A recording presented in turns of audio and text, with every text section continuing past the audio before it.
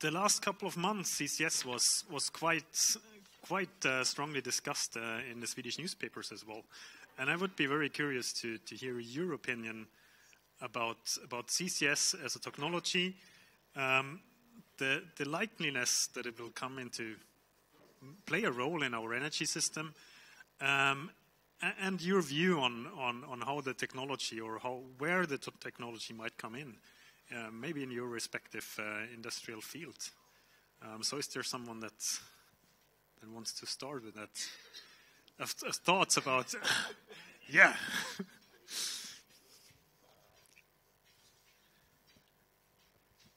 Maybe I, I, could start uh, because CCS has, um, if we talk talking about CCS, that has been one of kind of the major topics in uh, the energy industry for quite a number of years.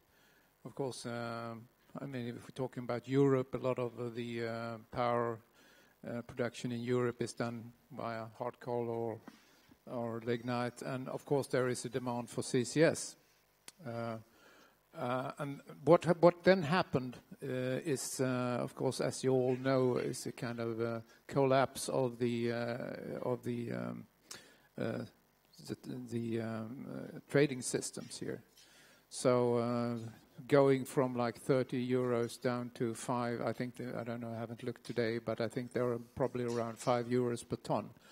Of course, had a, an enormous impact on uh, our industry. I mean, we have large plans for building CCS plants uh, we had pilot plants uh, operating around the clock, uh, produce, just producing data to allow us to, to scale up and so on. And then overnight, more or less, everything collapsed.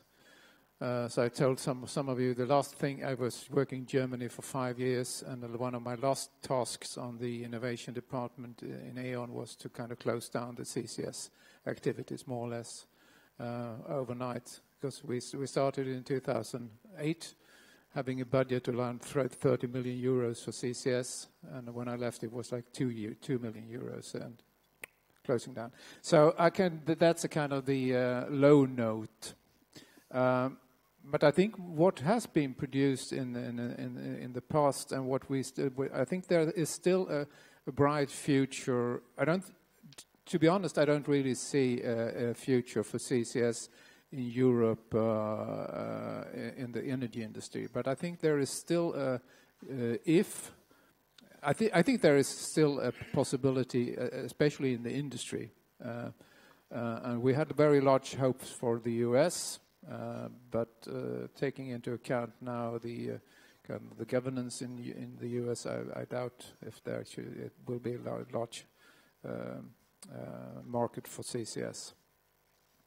So I think there might be a future for CCS in the industry still, and in especially in CO2 intensive industries like the petrochemical industry, uh, metallurgical industry, uh, cement, and so on. Um, but I think there is uh, electrification is also coming into this picture. So I think that in total, I'm, I'm not too optimistic about CCS. Uh, there, there might be some kind of possibilities also using CO2 as a raw, raw material in the future if uh, some kind of value can be assigned to CCS. I think that that might also be a possibility for CCS. If I shall continue after a lot well said. Firstly, I think I'm again impressed by Chalmers and the competence and the, um, the variety of uh, research that is being done here. Uh, from my point of view, in a chemical industry competing on a global scene, we believe that CCS is not possible unless there is a global commitment on a, on a similar CO2 price, and that shall, as always, has also been on quite a high level in order to be practical in, in this technology that it works. And more uh, sort of generally, CCS means that we first contaminate with something and then invest in cleaning it up. It might be better to focus more on being right from start to, to have more effort on the non-fossil CO2 molecules, putting them in in a quicker pace than first continue to use fossil molecules and then invest in cleaning them up.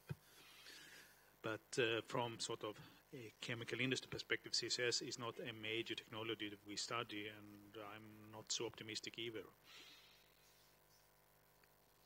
Oh, I can continue. I, um, I, I, agree with the previous speakers, um, but I do realize it, and I do think that this is a very interesting technology, and I think the earlier that we, that we can build up an infrastructure around CCS uh, will be beneficial, but because in the long run, I, I, I have difficulty in seeing uh, us moving towards uh, the, the, 22nd century without uh, this technology.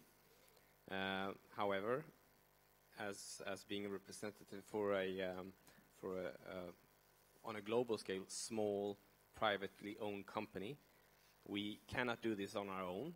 Um, uh, we, we need to, uh, there, needs to be some sort of uh, economical drivers to, uh, to engage in this technology. And, um, and also, uh, there is also a need for a, a, bigger um, commitment from, uh, from EU or, or, or conglomerate of states to, to make sure that there are that, that there is an infrastructure in place to take care of uh, the, the uh, CO2 once it's, uh, it's been captured. I have a problem in uh, exactly as Lars is pointing out in seeing any other problem uh, or perceived uh, threat to be solved by inventing a dump site, which is actually what we are talking about uh, as long as we don't have the utilization end of the carbon capture uh, concept. Uh, we will not see the, the uh, storage dump site if it's uh, kilome a kilometer uh, below ground out in the North Sea, but basically we need to, to find a way to utilize the CO2 where it's then stored permanently uh, out of the atmosphere. If, if uh, such a use will come, there will be an, another drive and uh, another willingness to invest in it than to uh, put it away. But don't forget that there are some other technologies than the, the, the pure engineer solutions that we have uh, seen. There is something called uh, photosynthesis. Uh, maybe, maybe we should actually take the take the trouble and plant plant another uh, set of trees per inhabitant in EU. Uh, further increase the uptake of, of CO2 from the atmosphere.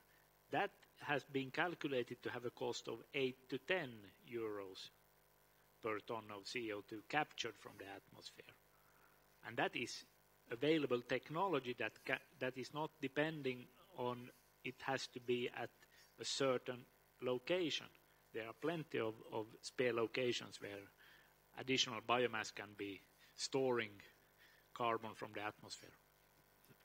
I think you, you address very nicely um, the, the necessity um, to, to basically take CO2 out of the atmosphere and um, bind it in, in form of photosynthesis, which is some, somehow inherent in the, in the, in the idea of, of bio-CCS. Do you have a specific thought of this? Are we going to, to manage with our, our carbon, available carbon roof that we have, that we say like, which is in some sense limited, depending on the two degree uh, um, goal that we have set up, or are we going to, to need to have negative CO2 emissions to, to keep in check there? And is, is bio-CCS in, in your eyes there, there the right solution to go, or, or is it rather to take the hard fall? If I, if I put my view on it first, I think the natural bio-CCS, growing plants in the nature with sunshine, water, and carbon dioxide. That's the bio-CCS that I prefer, not the technical one.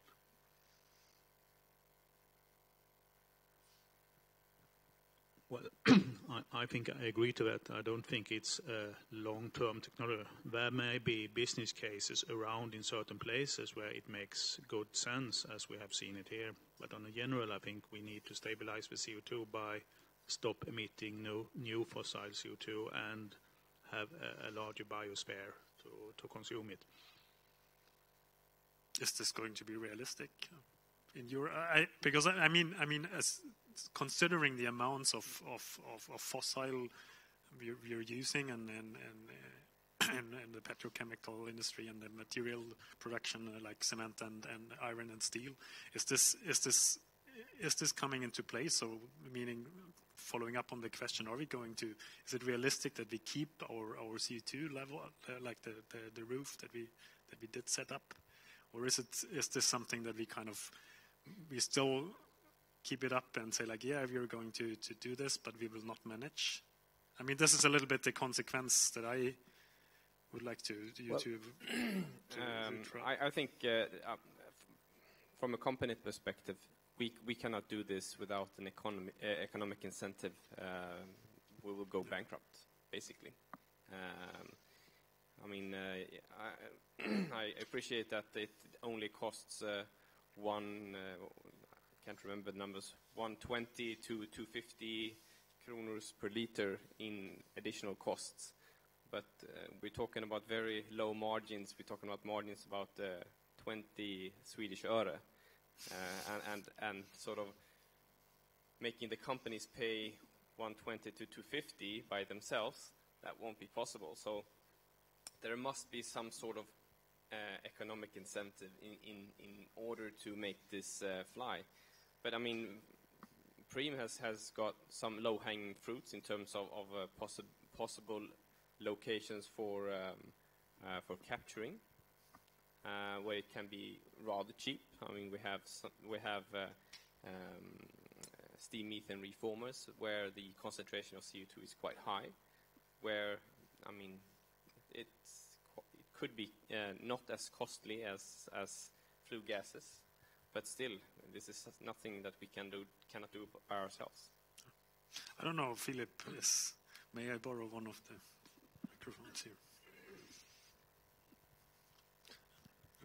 I mean, this discussion clearly proves, of course, that the challenge is not really the technology, but obviously the, the uh, yeah, policy measures or, or so. But uh, nevertheless, I, I think that what I wanted to convey with one or two of my slides was, of course, the tremendous amount of fossil fuel used and, and uh, what is, to answer your question back, what, what, would you think, maybe not with your specific companies, what, how should society handle this enormous use of fossil fuels? Uh, I mean, because the alternative, as I said, to CCS, I'm myself rather pessimistic to if CCS will be realized, but I mean, the alternative, if we're staying with this climate targets, is to leave the fossil fuels in the ground we see very little tendency to that that, that is done.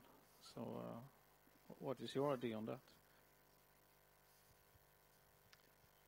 Well, I, I don't think this is a, a, actually an industrial uh, issue or a, a, scientific issue anymore.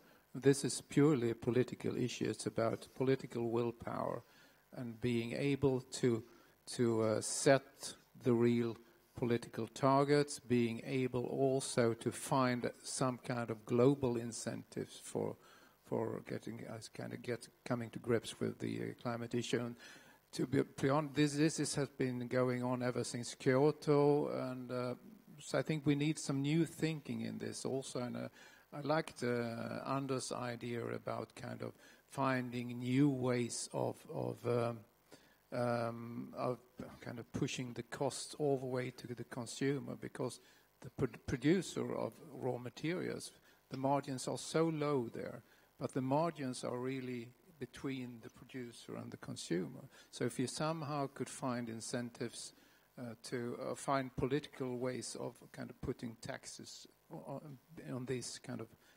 in-betweens, I think that that would be a kind of new way of thinking and maybe a possible way forward. Well, again, I agree. I think a, a global high tax on CO2 would solve the problem, and then both CCS and most of our bio-based technologies would be profitable by, by themselves. But that vision, I think, is far beyond what we can uh, figure out in this room. But in that case, CCS might work. Uh, but we must remember also that more than 90% of the fossil oil and used in the world are used as fuels. They are combusted either in power plants or in vehicles, in billion exhaust pipes all over. And CCS will not help there. So I think all the other measures we do in efficiency and replacing the use of fossil oil is more relevant than, than mm, trying to extract it from the atmosphere and put it back in the ground again. Anders, you Yeah. Uh, firstly, I mean, I, I, totally agree here. We, I mean, we, we, we're, we're looking into the future as, as researchers, and we have, we have to expect that we will be able to solve the climate issue, and this can only be solved with a, with a very high price on CO2, and so we have to assume that there will come incentives. Otherwise, we can give up our work and stop doing research. Uh, that's that's my first point. The other point is is when it comes to to uh, negative emissions. I believe that the, even even uh, the pathway I presented previously in Science four days ago, uh, the paper I mentioned, uh, the pathway includes lowering the CO2 fossil CO2 emissions by 50% each decade. That's a very rapid decrease first 50% and 50% and 50% decade by decade. And still we need very large negative emissions, even if we reduce our emissions so fast. And we're talking about, I mean, the IPCC models on negative emissions, we're talking about 500 gigatons or so totally. And, and like 10 or 20 uh, gigaton per year, which which translates to one or two tons per person on this earth. So it's, I don't think it's really storable in, in materials. We, we need to put it underground also. And it's not so very expensive. And, and Sweden has very large capacity for this. I, I think the, the really big thing is to keep as much as possible still underground and not uh, to phase out the use of the fossil molecules as fast as possible. But that requires a huge number of different good progress. Uh, and uh, as a comment to the EU ETS, uh, there is al always the, the, discussion about it collapsed. But actually, it was a tremendous success because uh, the emissions turned out to be lower than what was expected, and that causes, caused a decrease. Of course, the allocation of emission allowances were based on the wrong basis so it was too much allocated. But the emissions turned out in reality to be lower than what was accepted as the expectation. And that's why the price has gone down. And I think we might look back uh, very soon and say it was a joint failure uh, to lobby for a trading system and not accept from the beginning a tax. Have you seen anything being so interesting for industry or companies to avoid as a tax? That's where brains are being used to avoid taxes. So if, if there would have been a tax implemented on a global scale, uh, then pe people would have tried to reduce the tax basis.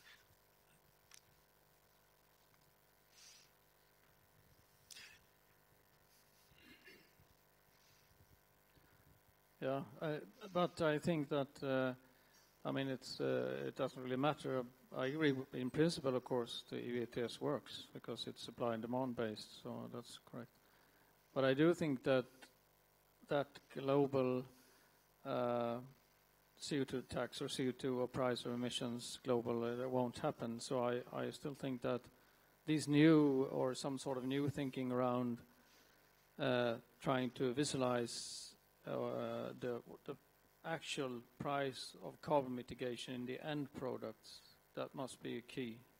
Uh, because after all, it seems that this will be a very low price increase. But the problem is, of course, it has to be transparent and it has to be, of course, customers who want these products. But we today see a lot of initiatives. For instance, the Swedish Road Administration has a program. They strive for carbon neutrality by the year 2030, meaning that when they procure cement and steel, they look at will increasingly look into this. And I think also, as I mentioned, uh, in various areas there is already a, a driving force of, of, yeah, looking at the carbon uh, footprint. So I would would be interested to hear in your industries what would you think that the customer, um, because never we can agree, I think, on that. At the day, uh, end of the day, it's the customer that pays any cost increase. So, uh, if I may call it a customer-driven, uh, so to say, wanting green products, do you think there is any hope in that?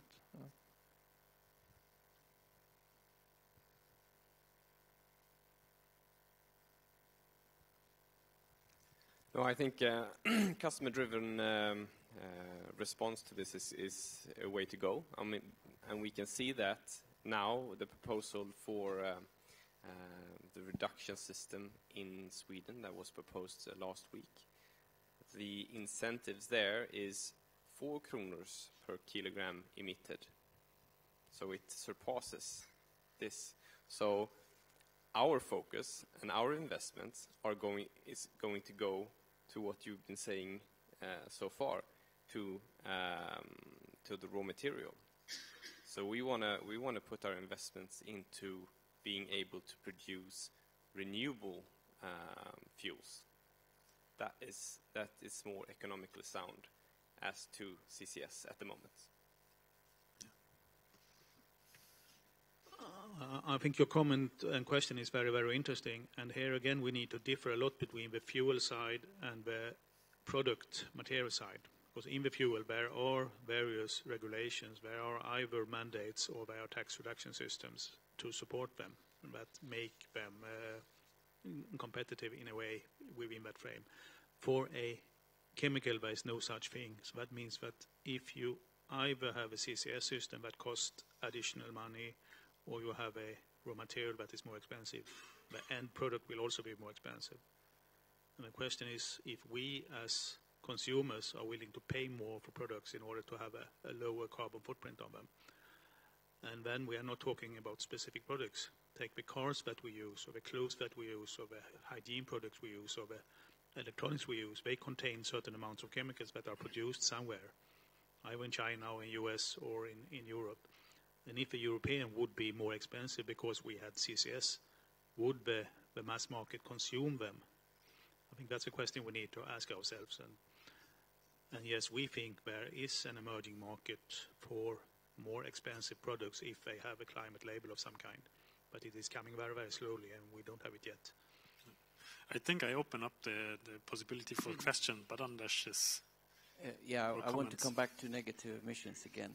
Uh, I think it, it's, it's, not, it, it's not a matter of choice between uh, reducing fossil emissions and having negative emissions. We absolutely need both because it's already too late to only reduce the fossil emissions. If we had started that 20 years ago, we could have met the climate targets, but it's, it's now too late. We have to take back the CO2 we have already emitted. And, and I believe geological storage is, is absolutely the, the long-term safest way of doing this. But we need to do it in many ways, both afforestation and reforestation. We need to we need to capture the CO2 that's coming out from from uh, biofuel, uh, biofuel or or combustion uh, uh, plants.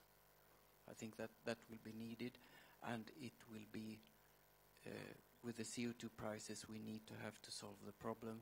It will be a large asset all the CO2 emissions we already have.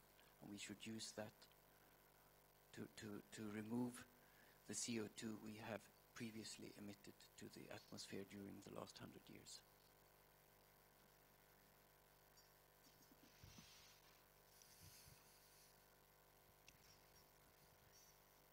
I have a question about what happens when we have now storage all the CO2, and not all, but some of the CO2 in the underground, and, some, and suddenly something happens, for instance, in Iceland, uh, there's a volcano area, and something else happened to the ground, and it starts leaking. What are the risks?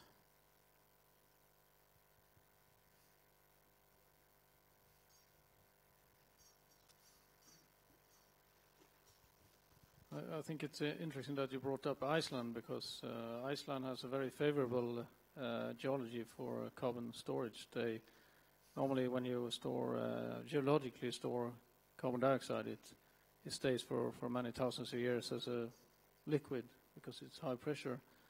But in Iceland, the basalt formations makes the it turn into uh, a solid rock in, in less than two years. So it's it's uh, it's a very good uh, place for storing CO2. The problem is, of course, the location of Iceland and, and uh, in relation to our power plants. But there are lots of basalt formations worldwide. Then, of course, uh, this is, uh, of course, uh, public acceptance point that if you store carbon dioxide geologically, there is, of course, some risk for some leakage, but it will be very slow and and um, these are very well investigated storage sites that are, for instance, in the below sea floor in the Northern Sea. So it's a very, very small risk for for that something happens. Of course, onshore storage has met quite some resistance, for instance, in Germany among the public. So it's of course uh, it's a, it's a task to uh, to uh, but not offshore. It seems to be quite good conditions for that.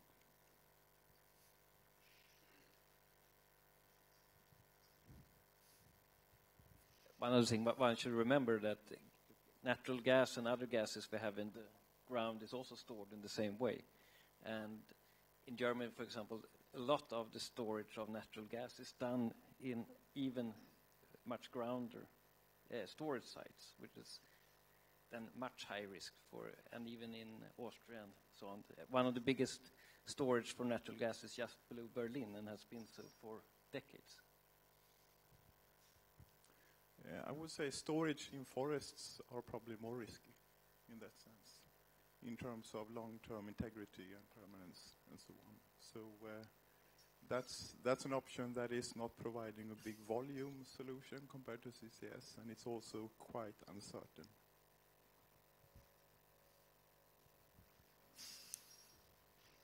Yeah, CO2 moves very slowly in sandstone. I mean, it, it's it's. Uh, I should have brought the piece of sandstone to show you, and and and for CO2 to move through sandstone and up a kilometer through through. Uh, if, if there is a leakage, the CO2 will not move very quickly. There will not be large, dangerous leaks. I mean, the dangerous leaks could be rather with the pipeline transportation, but but not not. I mean, and there's there's a lot of example worldwide of of uh, natural CO2 leaks in in many many places, because CO2 is is emitted constantly from the ground. But the point here is to inject EU CO2 in, in informations where, where there is a, a, a, cap rock, a seal rock on top. And, and I believe the greatest fears for, for leakage is, is uh, actual wells that have been drilled for oil, etc., that, that they will leak when, uh, because of not being properly sealed. So if, if, if I could choose, I would happily live above a CO2 storage.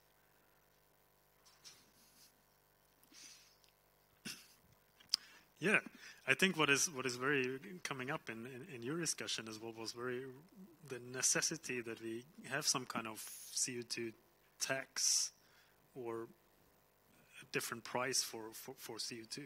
I mean, then the interesting question is for each of each of your your industries you're representing, or for, for different industries industries in, in, in Sweden and globally. Will we rather go into CCS or will we rather go into into biorefineries? And if we go into biorefineries, will we end up in a we cannot do BECCS and biorefineries at the full scale if we use like all, all the bio, biomaterials that are there and utilize the CO2 that we want to store. So, so I mean, we're ending up in, in, in having a very tight budget in, in that sense. But, but assuming that there is a taxation coming, um, what is, what is the, the, the, foremost or the first reaction that basically what, what your, your respective industry would react on and in which, which way? What, what would you, you think of? Would it rather be uh, you, addressed it in some way, Matthias. Maybe you can you can elaborate a little bit on that. First of all, um, there needs to be a infrastructure in place uh, in order to, in order to um, be able to store it underground. So that needs to be in place first be before we can do any investment. Then there needs to be an infrastructure around the logistic part. So there needs to be pipelines, uh, ships that can transport it to the, the storage locations. But in terms of technology, I mean, we work together with the Philips group uh, uh, in researching in, in uh, liquid ammonia and, and traditional CCS. So the technology side is, I mean, that's already there. We are basically doing CCS today in our biorefinery in Gothenburg, where we uh, at least capture the, the, the, CO2, even though it's renewable CO2. Um, so if there is an ec economical incentive and there is an infrastructure in place, we, I don't see how, why we shouldn't be investing in this as well. And uh, going with Anders' um, note that uh, we need to uh, to build up the infrastructure around being able to have negative emissions. Um, then you can combine uh, biorefining with CCS in order to uh, capture the, um, the, sort of the bio CO2 emitted uh, from from uh, producing um, biofuels. So, in the long term, or if there is a, a, an incentive in terms of uh, uh, revenue that can be made, course, then it's possible.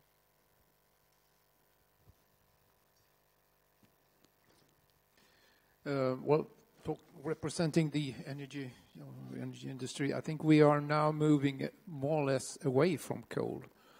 So this might be a surprise to you, but um, so we are not only selling our power plants, which we are also do, but we're also closing down a lot of the coal power fired coal-fired power stations in Europe, not due to uh, technical reasons, but more or less due to low electricity prices. A lot of plants have been are now approaching their end of life, and it's not really worth doing any reinvestments in coal anymore.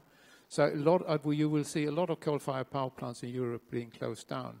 And of course, the nuclear power plants will also be phased out because we, you can't do any reinvestments in them.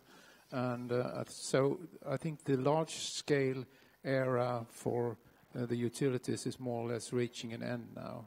No reinvestments will be done in coal-fired power plants, no reinvestments in um, in uh, nuclear plants. Hydro plants will, of course, still be, be going like they have done the last 150 years, more or less the same turbines, the same generators, just going. Uh, and then, of course, the investments will be done in solar and, uh, and, and in wind. So I think there will be an expansion in the offshore wind area, area and of course also in small-scale power. But uh, I don't really... And also the the coal-fired power plants that are still we, will be in operation will be more or less operating peak loads. And so it will not really motivate uh, investments in CCS as I see it for the moment. This might be changed by a CO2 tax, of course, but for the moment, I don't see any really big investments in CCS.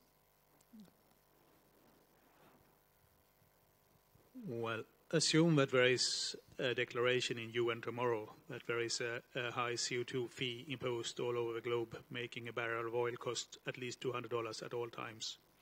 Then I think all the things we discuss here would suddenly become uh, profitable, there would be a sound competition between Lisbeth's cell factories and the thermal gasification and the CCS, and all of them might fit in different places in the world, and the market would solve the problem that the best technology at that location would win.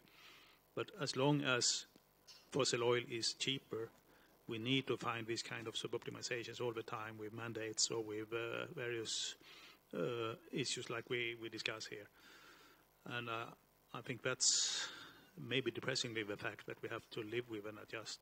And the positive thing here, I think, is if consumer power demands fossil-free products and fuels, that is the best way forward right now.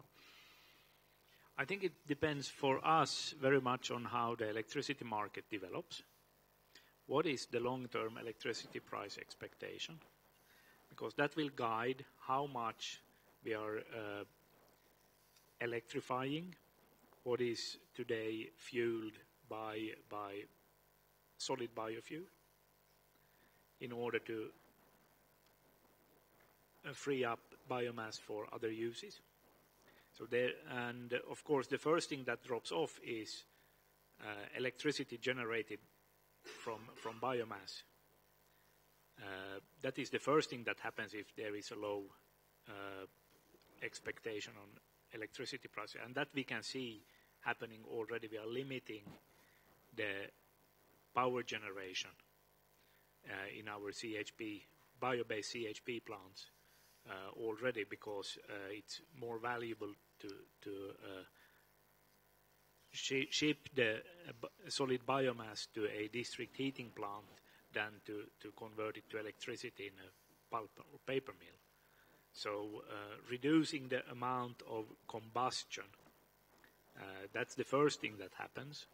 And then similar, uh, at the same time, the next topic on the agenda the energy efficiency part will get a new life uh, and a boost, and there will be a generation shift in some unit operations uh, that are available, where available technology exists, but it requires a boost to get a premature reinvestment cycle going. So even though you were doing a very nice introduction for Simon, uh, coming in about one, one minute, um, Philip requested the, the, the final word. Philip. It wasn't my intention to be last no. one, but uh, no, I just respond to. I agree with Uwe that, of course, in Europe, uh, I mean, Europe has come quite far when it comes to uh, decarbonize. So, of course, there's a tremendous expansion in renewables. But if you look at Europe, actually, among these regions that I showed, about how much fossil assets. Uh, Europe has quite little fossil fuels, so of course we can expect Europe to be green in that sense. Uh, but you just need to go to Poland, which is a part of Europe that in fact has a lot of fossil fuel, although Europe as a whole has a small fraction of it. And they oppose uh, strongly uh, climate yeah, uh, specific targets. So I think that that's sort of the the, the irony or the, the problem that, that these regions that have these large assets, they tend to use them.